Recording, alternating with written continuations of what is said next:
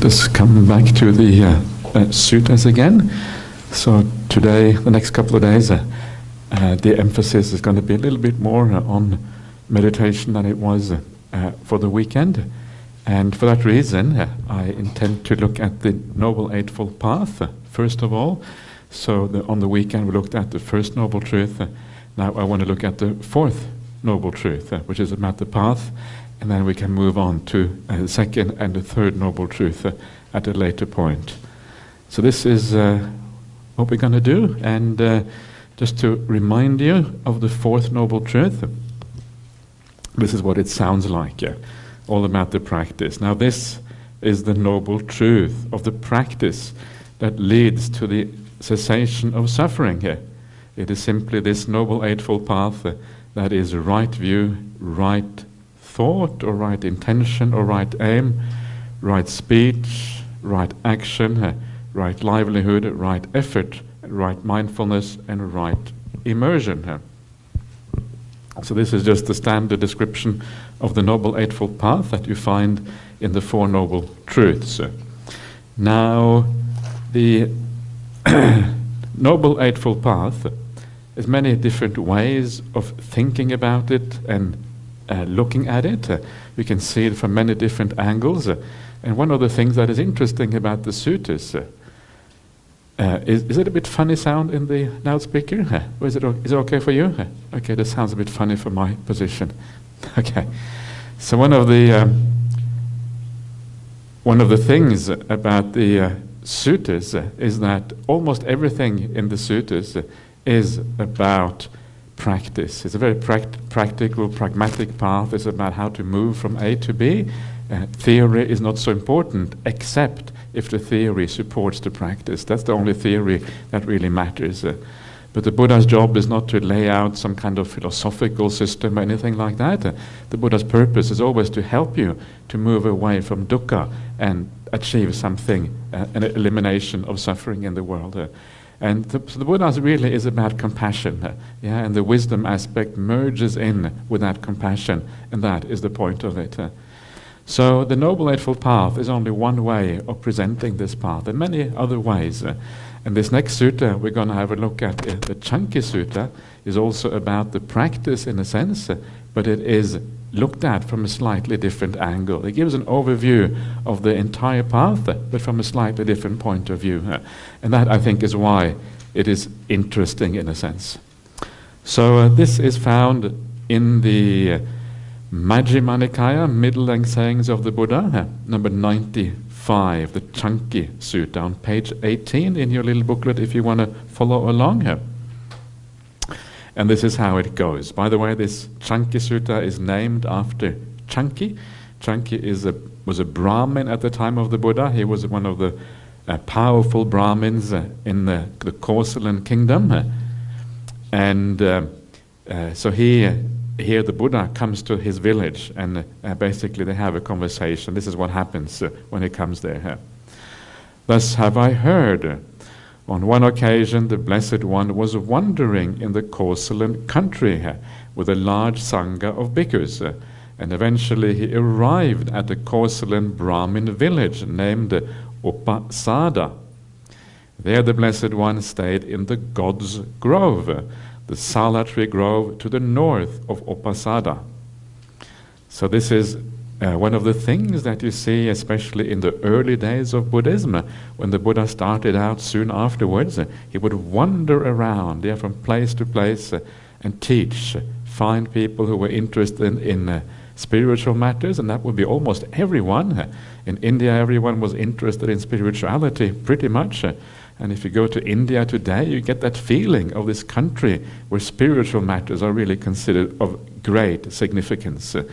Yeah, everyone has their little gods, everyone has a guru, and there's all kind of var- large variety of different teachings. Uh, India is this hodgepodge of spiritual teachings, uh, very diff- different from most other societies in the world, the Indian society. uh, and that's kind of one of the things that makes it slightly interesting to go to India. It's a diff- very different culture from most other places. So he's walking around with this large sangha of uh, monks, and then he arrives at this uh, place, this Brahmin village, uh, and staying in the God's Grove. sounds very auspicious. God's grove, Deva, Devavana. Yeah, is the kind of the, the name here. So maybe the gods are hanging out as well. Uh, they get to hear some good Dhamma. The gods also need to hear Dhamma, not just humans. Uh, we all need Dhamma. Just because you're a god doesn't mean you haven't got any delusion, unfortunately. So this is what happens then. Now, on that occasion, the Brahmin Chanki was ruling over Upasada, a crown property abounding in living beings, rich in grasslands, woodlands, waterways, and grain, a royal endowment, a sacred grant given to him by King Pasenadi of Kosala. So, this gives you a little bit of background of how society was structured at that time.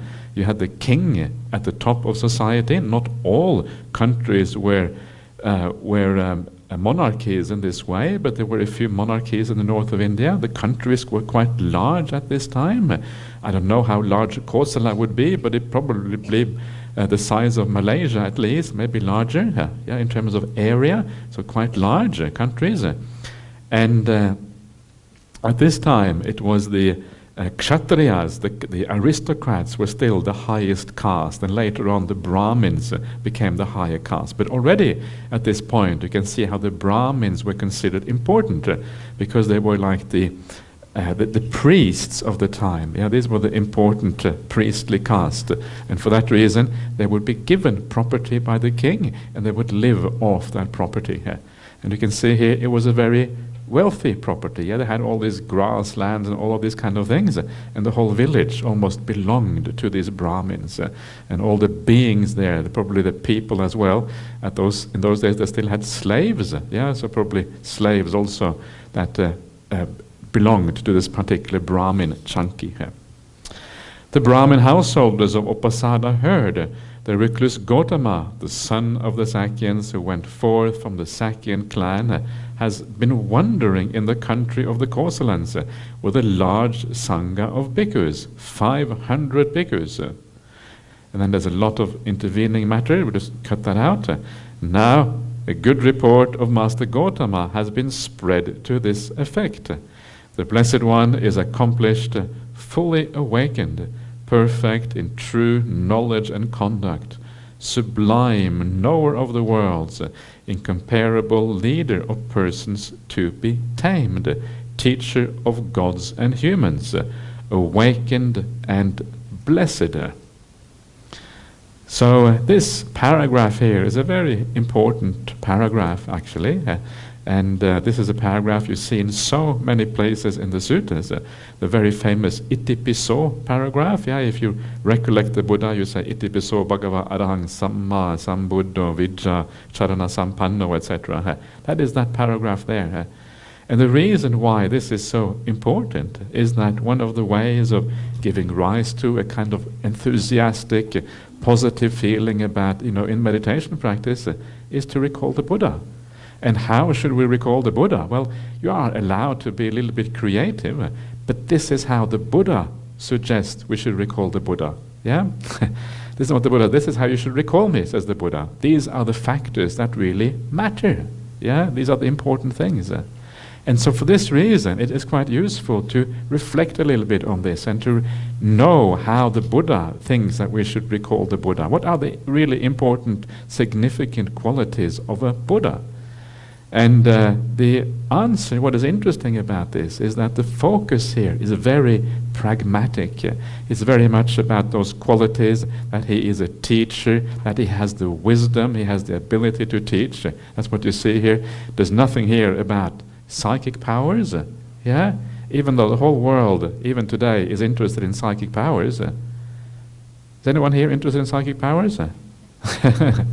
it's kind of cool. It's hard not to be interested, right? If you hear about psychic powers, it kind of get draws you in. How can you avoid being interested in psychic powers? But the Buddha doesn't say that this is important. Actually, it's not really re- talked about at all. Yeah, psychic powers is kind of irrelevant. Uh, whether you can fly through the air or read someone's mind, maybe you can do those things, but you know, according to the suit, as you can, actually, it doesn't really matter. Uh, this is not what Buddhism is about. Uh, and be very careful with that because uh, it is easy to get drawn into these things as if they are really important. But uh, and when you read the sutta, sometimes you may see places where psychic powers seem to be described, where the Buddha seems to have some kind of psychic power. But the most unreliable of all the passages in the suttas, or among the most unreliable, are those that deal with psychic powers. When you do your comparative study, you compare the suttas across various traditions, you find that, that those are actually some of the unreliable ones. Generally speaking, the Buddha does not display psychic powers.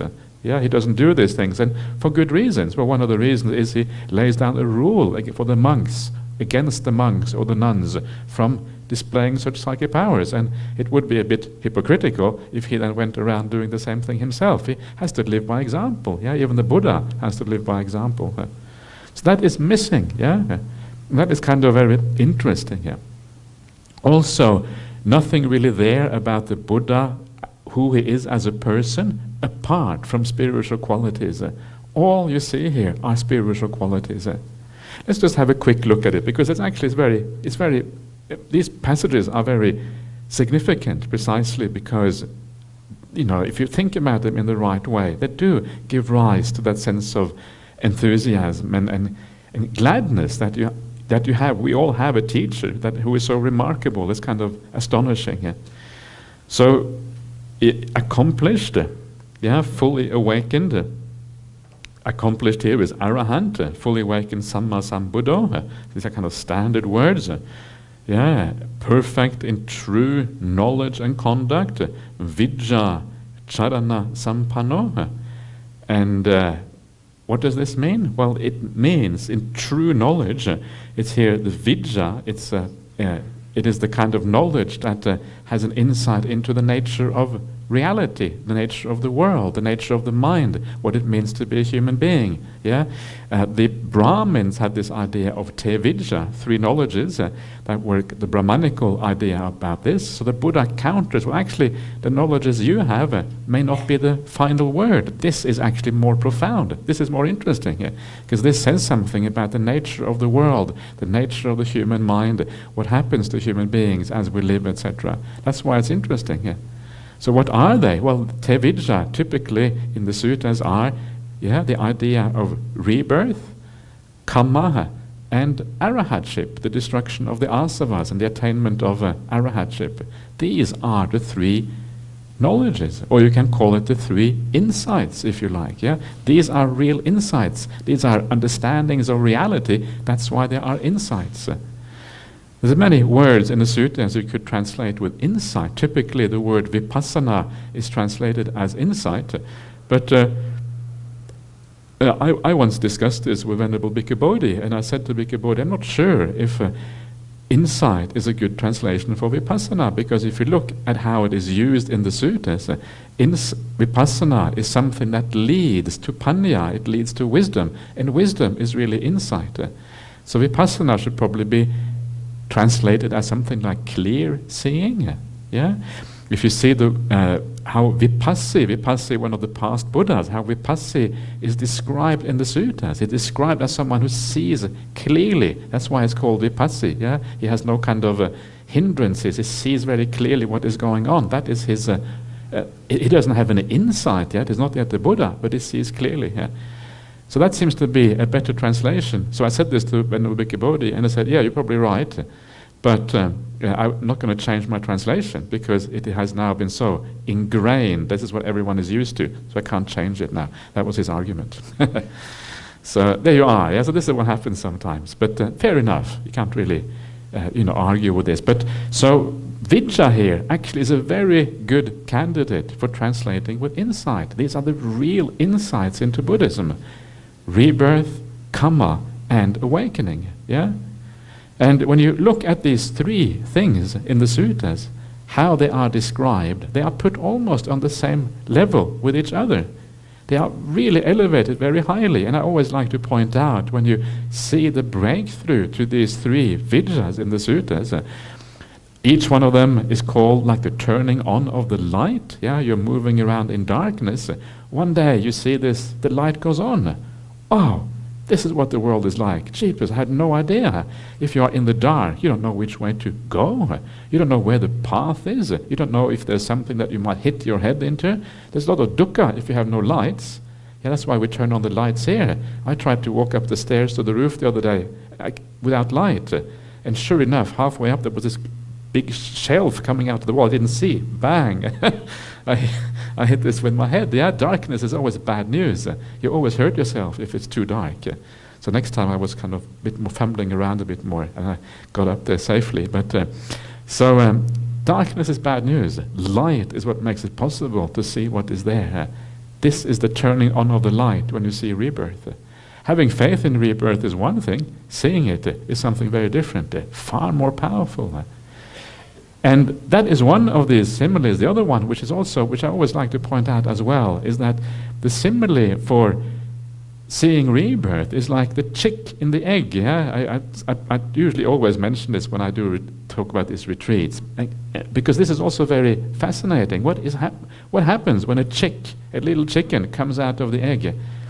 Well, what happens is that when you are in the egg, yeah, a chick, the world is so small all you can see is a little shell around you. You can't see very far. It's like everything is very close. You can't really see what is going on. And then one day you use your little beak and the little claws and you come out of that eggshell. And the world is transformed so radically from being inside the egg to suddenly being outside.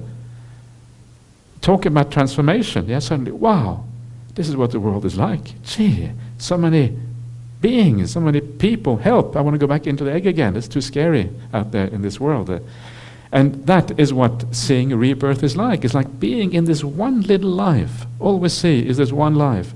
You have no idea what samsara really is like, no idea of other possible rebirths. And one day we break out of that eggshell, and then you see the world, what, what, what it actually is. Whoa! That is kind of the idea. This is what insight does to you. Yeah, it really uh, radically alters your understanding of existence. Uh, this is how important these things are. They are really fundamental. Then you have the same thing for the idea of kamma, turning on the light breaking out of the eggshell. And then the last one is when you become an arahant, when you give up all the asavas uh, and you leave all the defilements behind. That also is like turning on the light and breaking out of the eggshell. Uh. So these three things uh, are similar, they are explained in a similar kind of way. So that's how important these three things actually are. So fundamental things, yeah. Just to, I was just talking very briefly yesterday about the importance of rebirth. And there you are. This is how significant it is according to the suttas. Super duper significant. Not just super significant, super duper significant. So this is what the Buddha sees. Vijja charana sampanno. This is one way of thinking about vijja. You can also think about vijja in terms of seeing the Four Noble Truths. You can think about this in many different ways, but this is one kind of the traditional way. Uh. And the other thing which the Buddha is endowed with, which is very interesting also in connection with the sutta that we have now, is charana. Charana means like conduct or behavior. Yeah? So once you have that insight into reality, it alters your behavior. It's not like you carry on as before. Yeah, if you, if you go on the internet, uh, you may see, I don't know if you've seen this on the internet, but there are certain people out there, kind of, you know, little bit conce- really conceited people, and they have on their website they have the name, and then they have arahant next to it. Have you seen that? There's some arahant, arahant, me, me, arahant, so and so. Yeah, okay, I'm an arahant, and now sorry, I got to go off to work now. So yeah, so see see you later. Yeah. These are kind of the modern modern day arahants. Yeah, they are different from the arahants at the time of the Buddha. They have changed. So these arahants, do you trust those arahants? Maybe not. These are kind of what I would call pseudo arahants. They're not really arahants at all. They had maybe some of these people who call themselves arahants. The reason they do that uh, is because they have some kind of experience in meditation. Yeah, they don't really understand what it is. They don't have a teacher. They have no one to check with. So they think, yeah, this must be arahantship. Yeah, this was really cool. I felt a lot of bliss and happiness. Must be arahantship. Don't really know what it is, but I'll, I'll just say it's arahant. And so they, so they become arahants and they put that on their website like a Mr. So and so is Arahant so and so. Yeah, that's what it, what it comes down to. But uh, you see that in those cases, they still continue to live in their house, they still have their spouse, they still live an ordinary family life, they still go to work, yeah?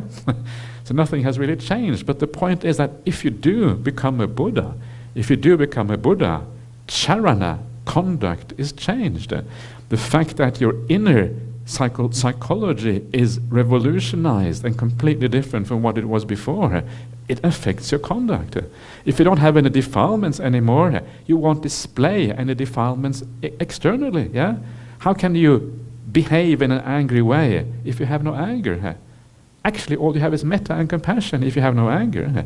How can you be cruel or oppressive if you all you have is compassion? You don't have that cruelty and oppressiveness inside. How can you be greedy? How can you want a fleet of Rolls Royces if you have no greed? some of those scallywag out there, uh, you know, um, spiritual people, uh, yeah, who claim to be really advanced, they have a fleet of, fleet of Rolls Royces, uh, yeah, and uh, the, what, what is the what is the excuse? Uh, the excuse is I am so detached, I'm not even attached to detachment. Yeah, so I'm not attached to detachment, which means I can have as much as I want, yeah, because I'm not attached to that. I can just kind of enjoy myself. Kind of madness. But this is the excuse for some of the spiritual people. That was a famous saying by uh, Osho. You know Osho? Yeah, yeah. this, this spiritual, this scallywag spiritual uh, guru from, from India originally. Yeah. And he moved to the United States and had a large following there and all these kind of things. There was a movie or a series, television series made of him, uh, which was shown on Netflix. Is that, is that right? Uh, have anyone seen that? Uh, yeah? Anyway, so if you want to see that, you can get an idea what some of these gurus are up to if you have a look at a television series. Uh. So, but the conduct comes out of this. Yeah? If you are a real, the real deal, your conduct will be changed uh, because you're no longer capable of acting on those defilements. You will always have a consistent conduct. And this is one of the things then we have we look for. This is a way to help us navigate the spiritual terrain, uh, to know which teachers are reliable, which ones are not, which which ones are the ones that are consistently kind, uh, consistently friendly, consistently not greedy, consistent clarity. Uh, that's what you should look for. It's difficult as a layperson to see this because you don't have such close contact with monastics. So you have to kind of make the best out of it. You have to look uh, to the best of your ability. It's hard to be 100% sure, so be a bit humble about it. Don't take absolute positions, uh, but it will guide you to some extent to decide what who is worthy of uh, faith and who is not. Uh.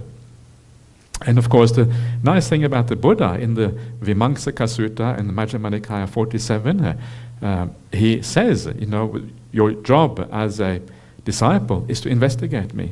You should look at me. Do I have any of these qualities? And if I do, you, should, you shouldn't have faith in me. He doesn't actually say, put it that way. He says, if I have these good qualities, then that is a basis for faith.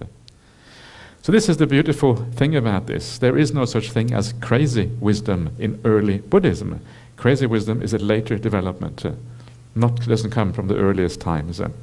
So, no crazy wisdom. Isn't that good news? Uh, that's good news because otherwise you don't know what to, what to where to place your confidence in this world. Uh.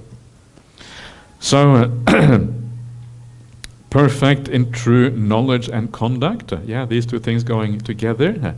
Sublime, which is here the sugato, li- literally gone well, gone to a good destination, like sugati is gone to a good destination. So this is like someone who is uh, gone to happiness. Maybe you could call it the happy one, might be a way, but maybe that's a bit trivial. But uh, still, the happy one would be probably not be too wrong. Uh, knower of the worlds. Uh, yeah, loka vidu. Uh, uh, what does that mean? Well, it, what it means really is that you know all potential suffering and happiness in the world.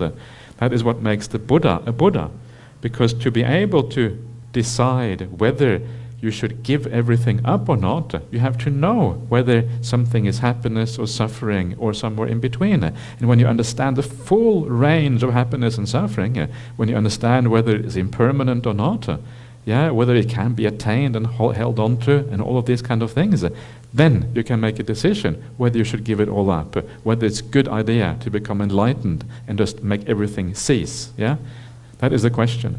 So the Buddha, to be able to have that answer, he needs to have a thorough understanding of samsaric existence, all the various kinds of existence you can have, from the bottom to the top, how long they last, whether they can be made permanent or not. Yeah? All of these things is a necessary uh, prerequisite for, for uh, the Buddha knowledge. And when you understand that all of this, everything in the world, wherever it is, all of that is kind of unreliable, uncertain, can't really trust it, then, of course, awakening becomes the answer to that problem.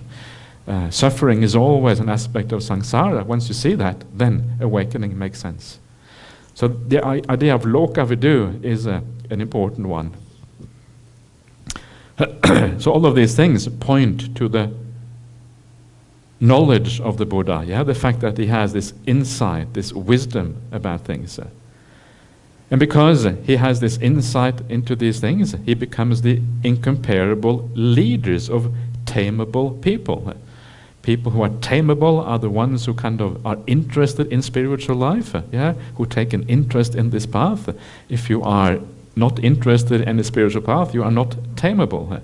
You are like a wild animal uh, roaming around trying to find sensual pleasures here and there, but there's not much chance for you to kind of get out of that uh, because you don't have that interest. So he's the incomparable leader of persons to be tamed. The reason is because he has the incomparable insight. Yeah, the Buddha is kind of very special in this way. There is, a, uh, he is uh, you know, from a Buddhist point of view, the greatest spiritual genius in recorded history. Uh, there's nobody like the Buddha out there. The one thing that makes the Buddha special, you know, straight away, is the fact that he saw non self to the very root. This is what makes the Buddha special.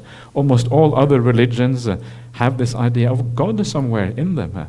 Buddhism is the only one where there's no creator God.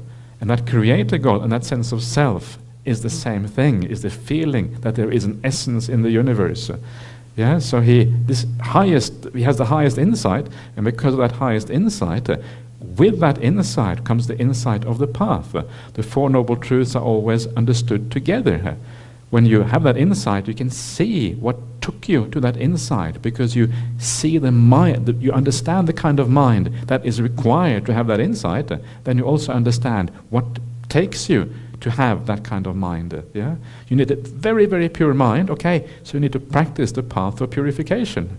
That's how you purify the mind. Without that pure mind, you can't have that insight. What is the path of purification? It's not the Visuddhimagga. Yeah, it's not the Visuddhimagga, right? Because the Visuddhimagga was written long time after the Buddha. The path of purification is Noble Eightfold Path. Yeah, that's the path of purification. And that's what we have here. So this is, uh, this is the, uh, the Buddha. So uh, try, try to, sometimes it can be useful to, uh, there's many ways of thinking about the Buddha that kind of makes the Buddha uh, more approachable because sometimes we can put the Buddha on too much of a pedestal. And if you put the Buddha on maybe not too much, but on the wrong kind of pedestal, if you put the Buddha on the wrong kind of pedestal, it tends to destroy our ability to relate to his teachings. Yeah, the wrong pedestal is the God pedestal. The Buddha is not a God. So sometimes, if you look at the history of Buddhism, they have moved the Buddha from the human pedestal and they have moved him over to the God pedestal. Yeah, Buddha, kind of Buddha becomes like the kind of this essential consciousness of the universe or the Dhammakaya and all these kind of things. And he becomes something beyond what we are. He becomes something more. And how can you relate to something which is more? In the suttas, the Buddha always talks about his own practice, what he did to become an arahant. And the reason why he does that is to inspire us and tell us we should be doing the same thing. But if the Buddha is not a human being, if he is different from us, then his practice is kind of irrelevant to us. But the point is, the Buddha is not. The Buddha is a human being. This is one of those very important things to understand. And if you read just this passage here, there's nothing there about the Buddha not being a human being. He is only someone who has taken the human potential to its highest. That's what he has done. So this is so, such an important thing. So when we, it's great to bow down to the Buddha because what you're gra- bound down to is the highest potential in uh, in humanity. So because of that, it's a wonderful thing to bow down to. But we need to remember, still, he was a human being and not a god. Yeah, and then we can start to relate to his teachings in the right way. So, um, what is it like to meet the Buddha, do you think? Yeah? You get some idea today, yeah, you can go and meet some of the great teachers in the present day. And I recently went to meet uh, uh, this monk in Thailand called Ajahn Ganha. I will mention him already. he's one of the kind of few people in the world who might be an arahant. Not many left, hard to find. So if you, if you see one of them, then wow, it's like a, you know searching in the forest or finding a rare tiger. You have to go very gently and carefully, and then kind of sneak up, and then you might see them. The arahants are a bit like that. They're very hard to find. Everyone thinks they have seen a tiger or seen something interesting, but actually they're very difficult to discover. They're hard to discover because you don't really know who they are very often. Sometimes you have to kind of search carefully. But he has some of those characteristics that make you think he might be an arahant. So what is it like to meet a person like that? And it's kind of very interesting, yeah? Because initially you feel a bit kind of you know, you walk like this, you're not sure, you know, exactly what it's going to be like. Are they going to be fierce? Are they going to be scary? What are the arahants going to be like? And the thing that you find with someone like Ajahn Ganha, he's so gentle, yeah, he's so soft. And even though you might be a, a little bit apprehensive in the beginning, it doesn't take long before you become a little bit too cheeky. So you start off being a bit careful, and after a while you become a bit too cheeky because you, you know, you think that you can ask any kind of question from this arahant. Or maybe that's just my character, but I become a bit cheeky too quickly when I meet these arahants. and because you really relax, yeah, you feel this great sense of metta. There's nothing to be afraid of. And after a while, you kind of lose that little bit of that restraint that you should have around someone who is so so wonderful. Actually, I try to be uh, really reasonably well behaved, but you know what it's like when you really relax around somebody. They become a bit like family. Yeah, you don't want to treat an arahant like your family. It becomes a becomes a bit strange. So, and it, but it's beautiful to be around someone like that uh, because you can see the hustle and the bustle in the monastery. You see all the lay people coming there. Lots of lay people come around him. Uh, and very often he doesn't give many teachings. Uh, you sit around Ajahn he sits there and he looks at you, and people just kind of, oh, it's so nice to be accepted. I'm accepted by Ajahn. I can really relax now. Usually, most people they will judge us to some extent. Yeah, Ajahn Ganha will never judge you, so you feel really at ease. You feel really relaxed around them, and the lay people are sitting there. Yeah, and then he kind of smiles, and everyone laughs because he smiles because his smile is so sweet. So it's very, you know, it's it's a beautiful scene to kind of just behold and to be there. And he never gets ruffled. He never gets kind of agitated at all. His temper is kind of super even. Yeah, and always has a smile on his face, 24 7. I don't know what happens when he sleeps, but uh, you know, apart from that, uh, yeah, it's 24/7. And that is so astonishing. There's that incredible consistency, and you wonder where does that energy come from? This kind of bouncing of energy, yeah, all the time energetic. So he said a little bit about his own practice, and he said that well, he gets up early in the morning. He does his meditation early in the morning. I don't know what he does in the meditation, but it must be something really, really powerful. And then the rest of the day, he's kind of, he's like the sun. He kind of blares out, yeah, this kind of beams out the metta and the peace and all of these kind of things for the rest of the day. Yeah. Sometimes, towards the end of the day, he gets a bit tired, yeah. If he works really, really hard all the time, then he withdraws a little bit. Next morning comes out, bang, the sun is back again. And that is the way he has been for how long? I asked Ajahn Brahm, how long has it been for that? I said because Ajahn Ganha came to visit our monastery in Perth back in 1988 when we were building buildings down there. And he stayed with us for six months or something. That was before I was a monk, so it's kind of a long, that would be thir- over 30 years ago now. And I asked Ajahn, well, was it like that already then? Yes, it was already like that, said Ajahn Brahm. He was almost born like an, well, that's impossible. You can't be born as an arahant. But you know, he was, from the very early time, he was like that. Uh, consistency over a period of 30 years, okay, then you can start to kind of have a little bit of faith, yeah, when you see that over such a long period of time. Uh. And so I asked Ajahn Brahm about him, and Ajahn Brahm said, well, if there are any arahants in the world, well, that would be one of them. That's what Ajahn Brahm said. Uh. So rare, yeah, unusual, powerful. Uh. And yet, when you are with them, uh, it is so ordinary. Yeah, it is so kind of feeling, there's, not, there's nothing really kind of really special. So you're with them, you travel around, and they give you teachings, and the teachings are so simple. Be kind, be gentle, be generous. Do your duties. Yeah? That's his teaching. That's the Arahant's teaching. Nothing about dependent origination. I'm the one who teaches about dependent origination. Yeah, that's what you do. If you're not, that's the proof you're not an Arahant. If you teach dependent origination. And it's so marvelous, yeah, it's so beautiful. He's such a simple person, but with incredibly powerful qualities. Uh, and that is what kind of makes it so beautiful. When you listen to him tell you to be kind and to be generous, you really listen because you know it's coming from such a beautiful place. Uh, he has only your interest at heart. Uh, he's not saying this because he wants followers. You can feel that he's kind of aloof. Yeah, he doesn't allow himself to. No, nobody can manipulate him. He's aloof from the people around him. You can feel there's no attachment there. He just looks at you, smiles, and then looks away and focuses on somebody else. one moment you exist, the next, next moment you don't exist anymore, as far as he's concerned. Yeah, his attention just moves moves without kind of any break, just naturally from one thing to another. There's nothing there that you feel holds on to things. There's this feeling of aloofness. You get this feeling a bit with, with Ajahn Brahm as well. You don't really have ordinary friendship with someone like Ajahn Brahm. He's also kind of aloof from that kind of way of interacting with people.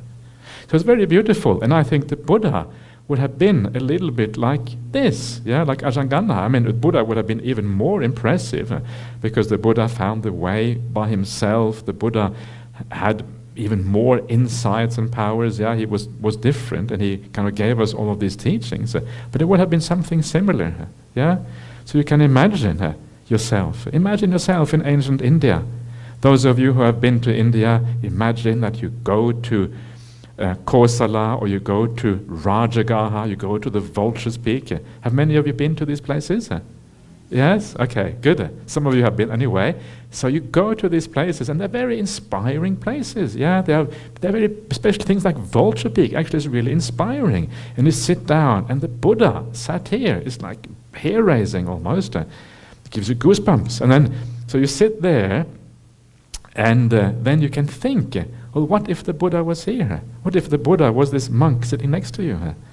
Yeah, so you come up to the vulture peak, and the Buddha is there, and you feel a bit frightened, perhaps, just like with Ajahn Ganha. You feel a bit, oh, the, the, Buddha, he has a big reputation. Yeah, okay, so I better be careful what I do. So you go up to the Buddha, but then as you approach him, you get a similar kind of feeling as you get with Ajahn Ganha. It's just peaceful. He's just kind. He just has this beautiful metta about him and compassion. And very quickly you understand this person is not going to do anything harm to you at all. And you look at the Buddha, he looks just like an ordinary monk. Yeah, he doesn't look like anything special. He's this ordinary man, except that he has a demeanor about him that is utterly peaceful and quiet. Apart from that, he just looks like an ordinary monk. There's nothing special about him.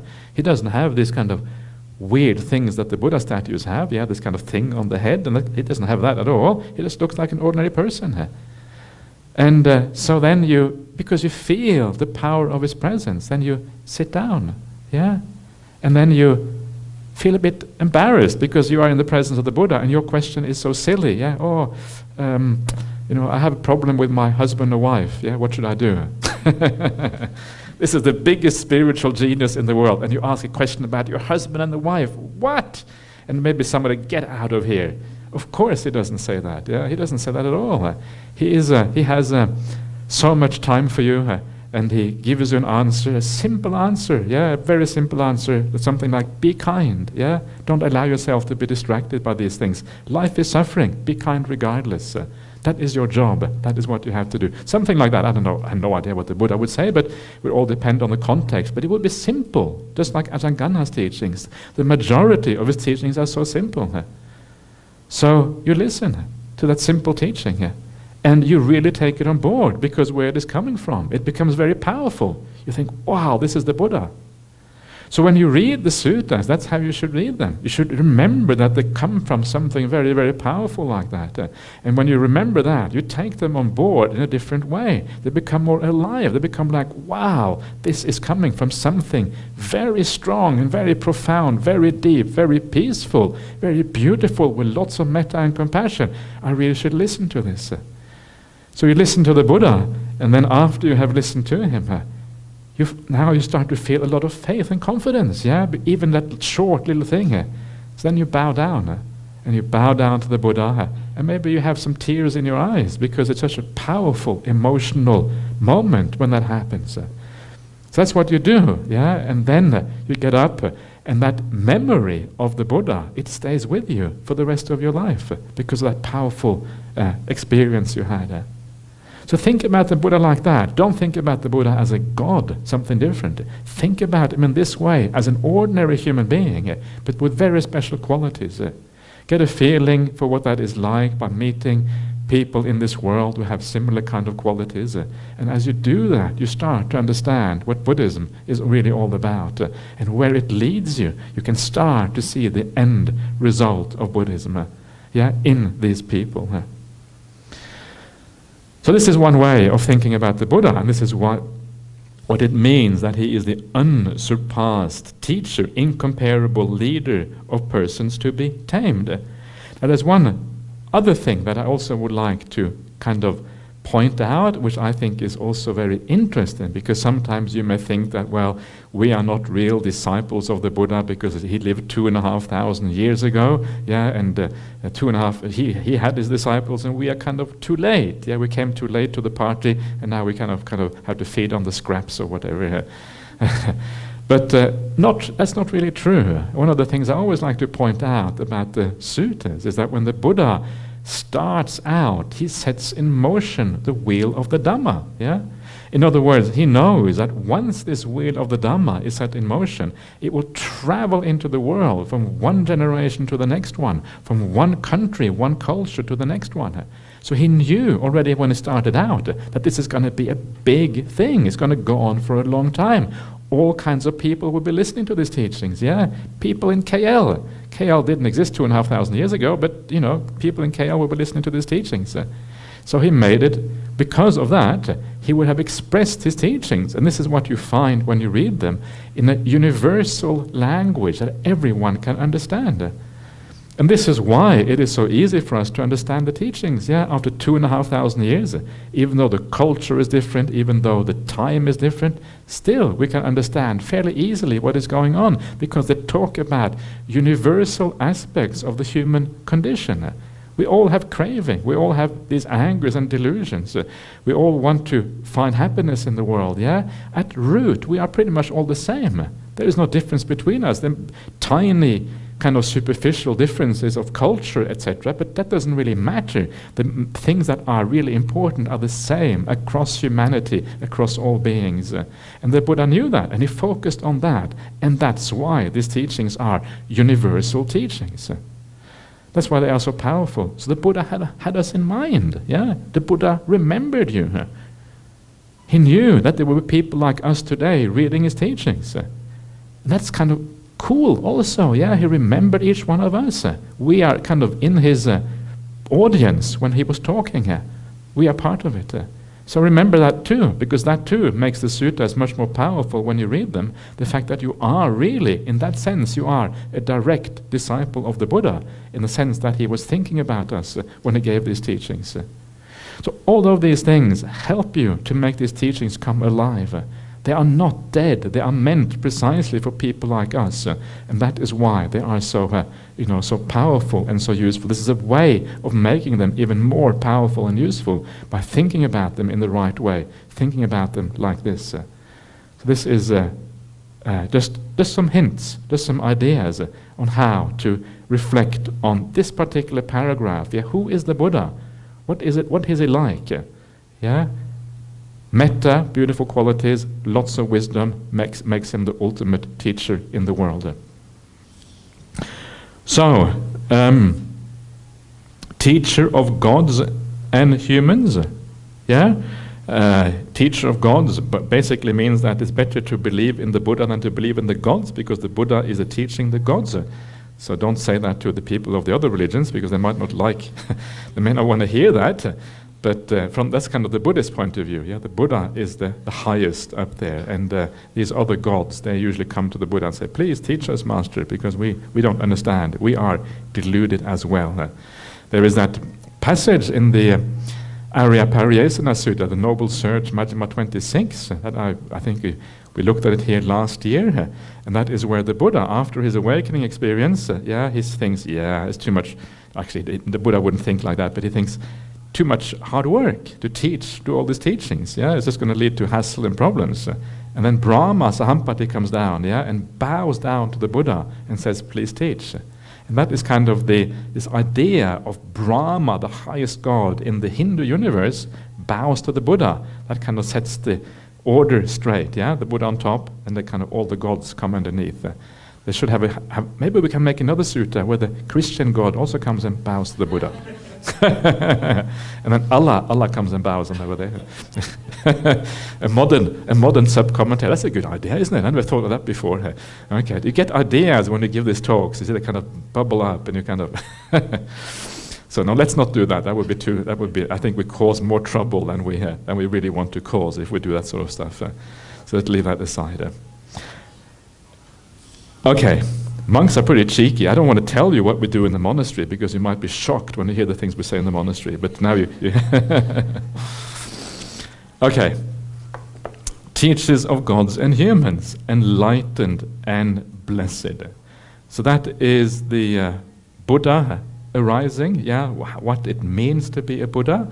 And that is how you can think about the Buddha when you do the chanting of Iti Piso Bhagava Arahang, Samma Sambuddho, etc. Yeah. Then, once the Buddha has arisen, this comes next. He declares this world with its gods, its maras, its brahmas, this generation with its recluses and brahmins, with its princes and its people, which he has himself realized with direct knowledge. He teaches the Dhamma that is good in the beginning, good in the middle, and good in the end, with the right meaning and phrasing. And he reveals a whole life that is utterly perfect and pure. Yeah, utterly perfect, utterly complete is better, not perfect, utterly complete. In other words, there's nothing missing, it's complete and pure. Now it is good to see such arahants.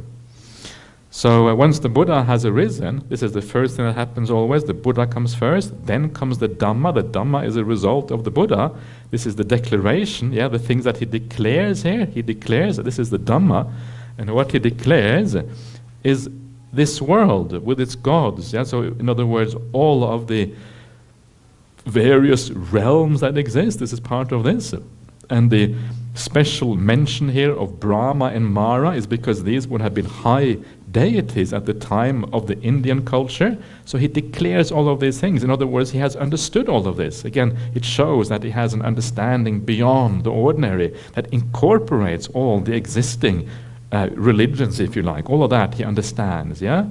So uh, again, it kind of subsumes, it, it, brings the Brahmanical generation within the kind of Buddhism, in a sense. That's kind of the point of this. Uh, this generation with its recluses and Brahmins. Uh, the idea is that uh, he understands the rec- recluses are the samanas, yeah, the samana movements, not just the Brahmins are religious seekers, but you have the samana movement outside of society that seek truth in various different ways.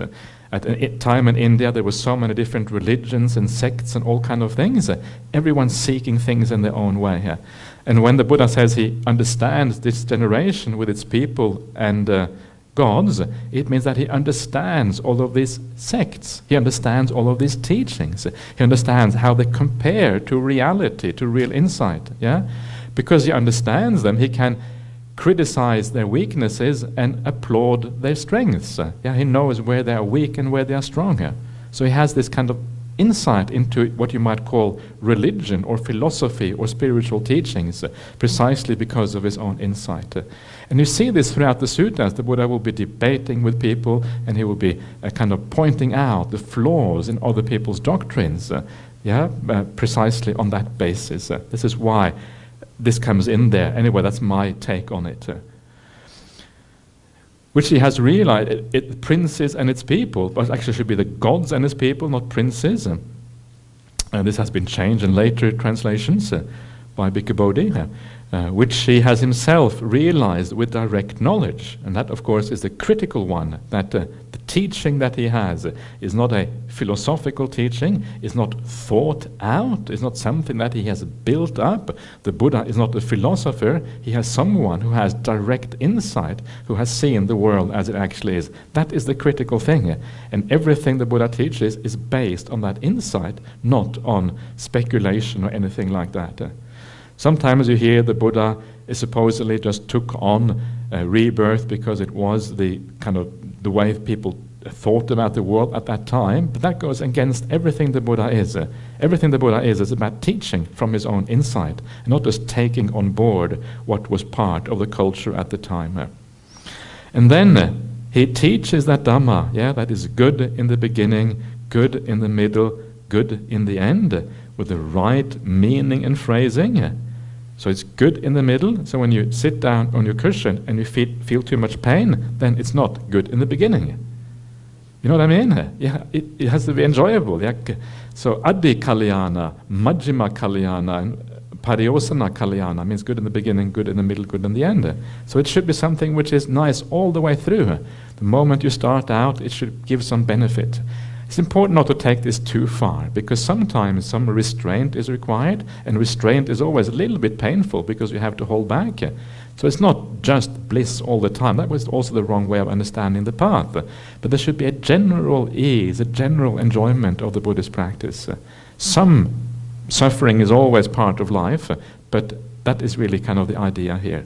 So from the beginning, and then even more as you come to the middle, and then eventually the highest bliss as you come to the very end of this. Uh, with the right meaning and the right phrasing. Yeah. Right meaning can also mean like a, a proper purpose, a proper goal. Buddhism has a real goal. It's called Nibbana, or it's called, if you like, not Nibbana, but it's called extinguishment. This is a translation of Nibbana. It is a real goal. When you get there, that's it. You are finished. There is nothing more. And you have found the meaning of life. You found everything.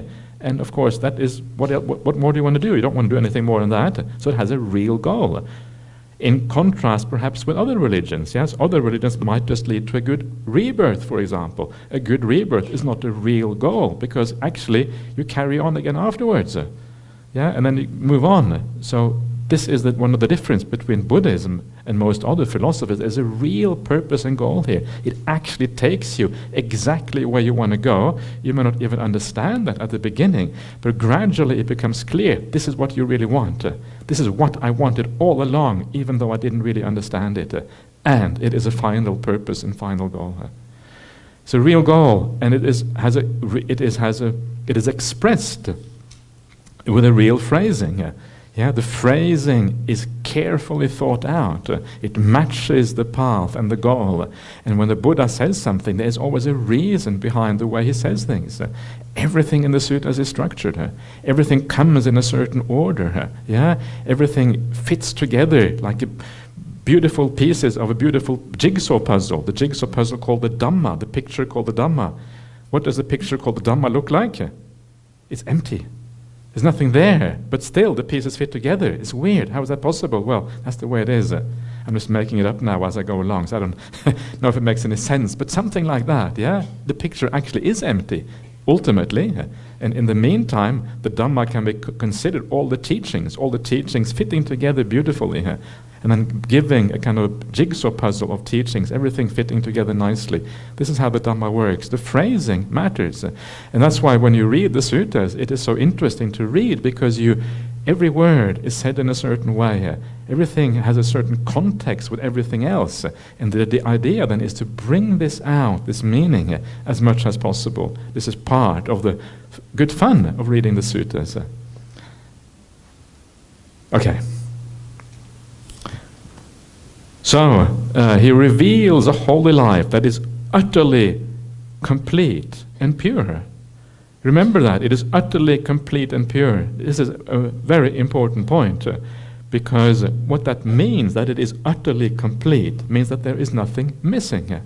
You don't need to go to the Abhidhamma, you don't need to go to the Visuddhimagga, you don't need to go to anyone else to find out what the path is. Everything is there in the suttas.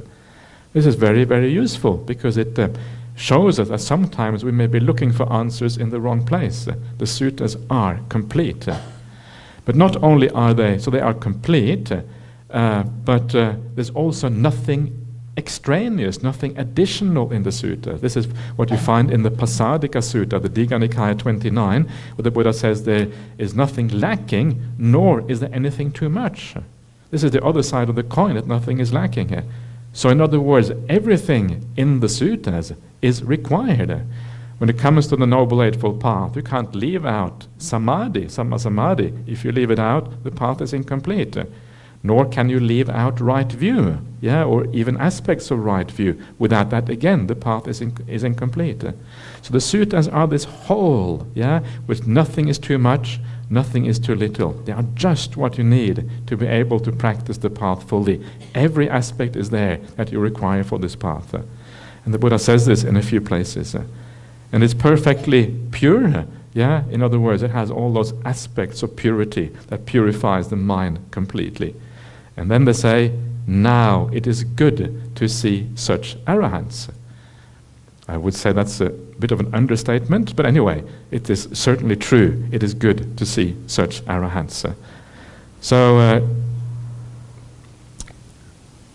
yeah, so that, that again shows you this idea of in India how people were always looking for spiritual teaching, trying to search out, find out who the arahants in the world.